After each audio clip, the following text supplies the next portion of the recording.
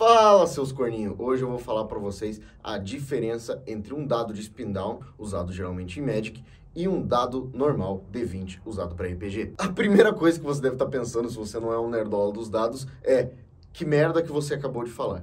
Imagina que você tem um D20, só que sem os números. Então vamos pegar esse dado, por exemplo, tira todos os números dele.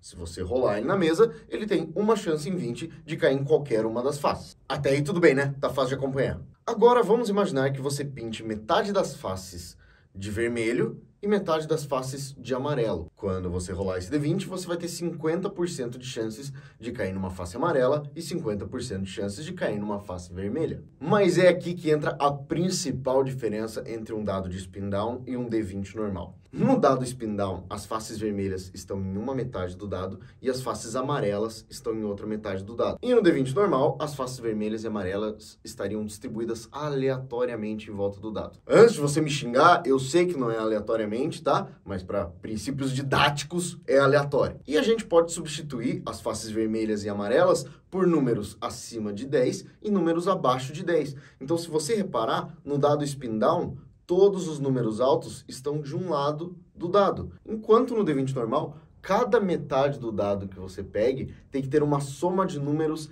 igual à metade que ficou para baixo. E por que então que nós temos tantos ativistas dizendo que esse dado não pode ser usado para RPG? Primeiro, eu vou explicar para vocês um princípio bem simples que eu acredito que todo mundo saiba, mas eu preciso garantir. Peso de um lado, qual lado que cai? O lado que tem peso. Certo? Estamos todos de acordo?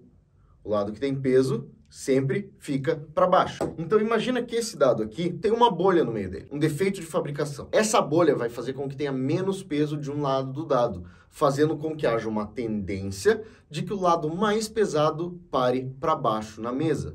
Isso não vai ser 100% das vezes, mas ao longo de várias rolagens você vai perceber uma tendência. Outro motivo para a galera não gostar desse tipo de dado é que se o cara quiser roubar, se o player tiver mal intencionado, esse dado realmente deixa mais fácil. É mais fácil dele rolar de um jeito que ele saiba qual metade do dado vai cair para cima. Nesse D20 normal aqui, com os números aleatoriamente distribuídos, de novo, eu sei que não é aleatório, se torna praticamente impossível do cara ser mal intencionado com o dado desse, e mesmo que o dado tenha defeito de fabricação, ele não vai tender a ter números maiores ou menores, porque a soma dos números contidos em cada metade do dado é igual. Vamos supor, se esse dado estiver balanceado e se você não tiver mal intencionado, não existe diferença nenhuma. A probabilidade ainda é 1 em 20 de cair em cada face. Então, um dado desse eu só não recomendo se você não confia no seu player ou se você não confia na matemática.